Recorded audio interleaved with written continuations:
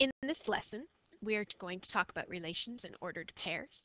And the goal is that at the end of this lesson, you will be able to say, I can graph relationships using a set of ordered pairs on the Cartesian plane.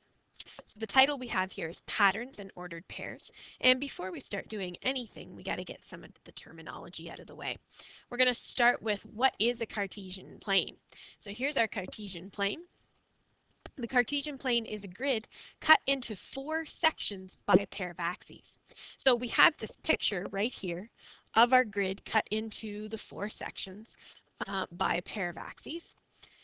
And those four sections have names. They are called this is quadrant one. This is quadrant two. There's quadrant three. And lastly, we have quadrant four.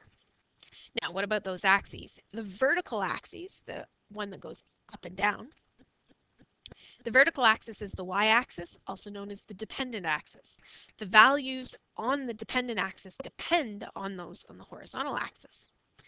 And the horizontal axis is the x-axis or the independent axis. It's an ordered pair. To state a point on the grid, you give its coordinates x first and then y. The resulting pair of coordinates is called an ordered pair, and it's called that because they always go in that same order. x first, then y, and we write it as x comma y, although we'll have numbers in there for the x and the y. And lastly, a very special ordered pair is the origin. The center of the grid where the axes cross is called the origin. The coordinates of the origin are 0, 0. So right here is the origin. We usually put a big O there. And the coordinates of the origin are 0, 0. Now, speaking of coordinates, we're going to talk about the coordinates in the quadrants. And I want you to notice that in quadrant 1, everything all of the numbers to the right on the x-axis, right here, are positive. So all of our x coordinates in quadrant 1 are going to be positive. Uh, the y coordinates above, if you take a look uh, at all of these y's here, they're all positive as well. So in this quadrant, all of our coordinates are positive. X's are positive and Y's are positive. Now in quadrant two, we're backwards this way, so our X's are negative, but we are above the axes and our Y's are still positive. So in this quadrant, the coordinates, the X coordinates are going to be negative and the Y coordinates are going to be positive. Down here in quadrant three, the x coordinates were still to the left of the vertical axis. They're still negative. And the y coordinates, since we are now below the horizontal axis, they are also negative as seen on the scale. And lastly, in quad 4, quad 4 is this quadrant here, and if you look at the numbers that are surrounding quad 4, the x's the horizontal are positive, but the y's are negative. So in quad 4, we will have positive x's, but negative y's.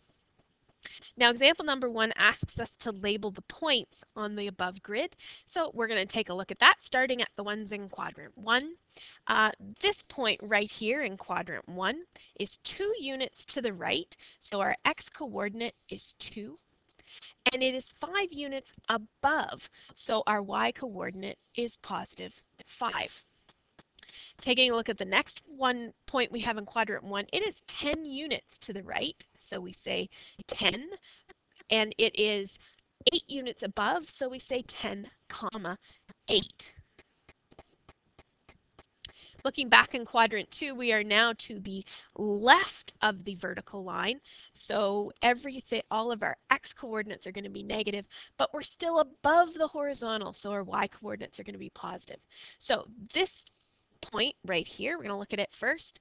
Um, it is 10 units back and four units above. So we label that as negative 10 for the back and positive 4 for it being above.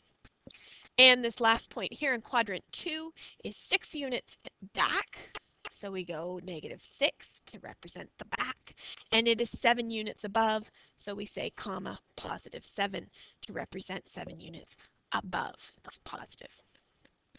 Now down in quadrant 3, this point is 4 units back and 4 units, 5 units, sorry, below.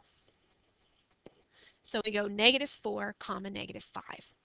And lastly, in quadrant 4, uh, this point is 9 units to the right and 6 units down or below.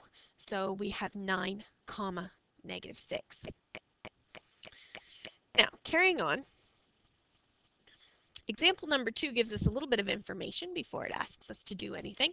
Example two says if plotted points form a straight line you can that you can put a ruler on uh, and draw a line through and hit every single one of them, we say that that is a linear relationship.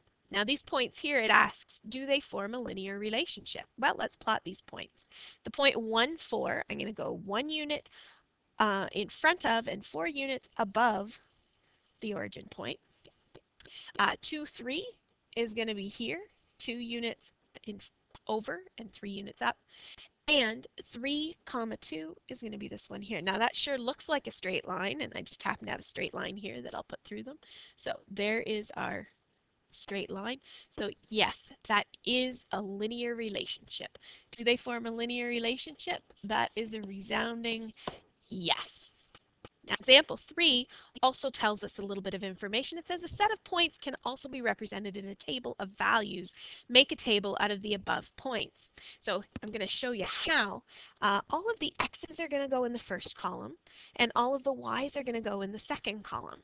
So taking a look at what we've got here, we're going to start by putting all the x's. There I've got an x value of 1, an x value of 2 and an x value of 3. And beside them in the y column, we're going to put their corresponding y value.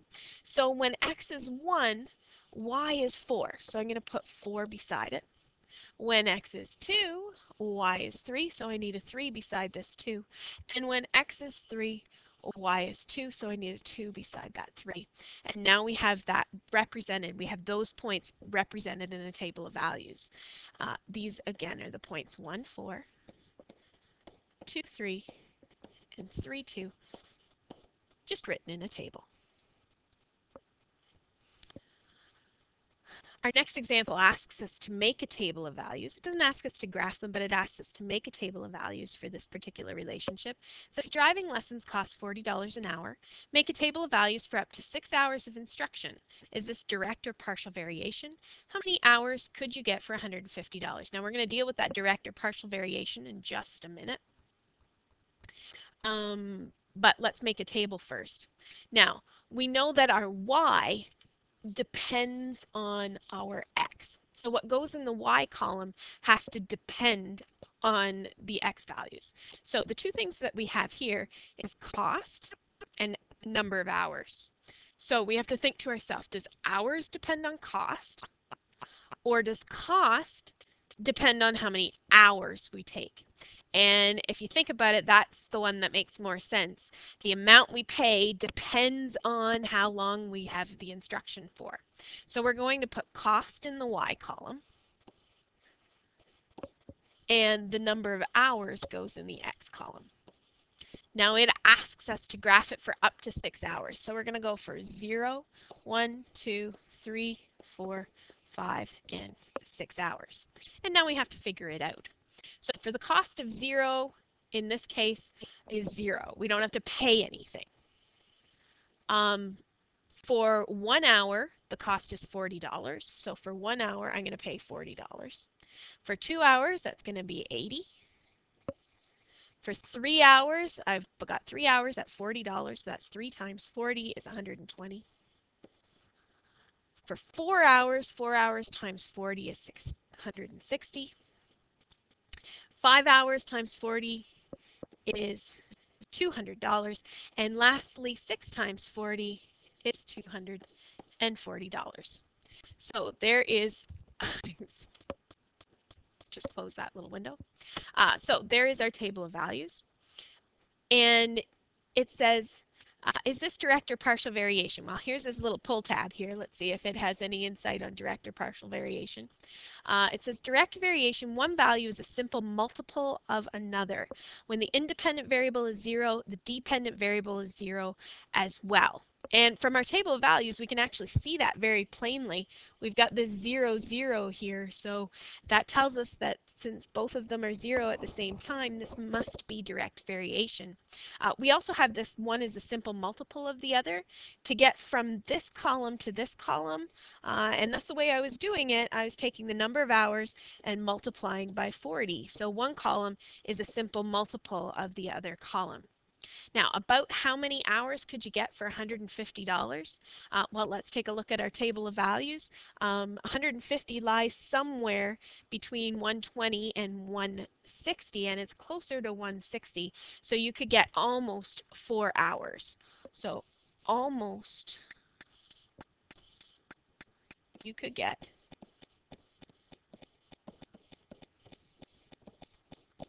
almost four hours for $150. Now, carrying on for our last example of the day, it's another one very similar and it asks us kind of the same thing. Uh, a driver's ed co class costs $100 for the class and $40 for each hour of driving instruction. Make a table of values for up to six hours of instruction. Is this direct or partial variation?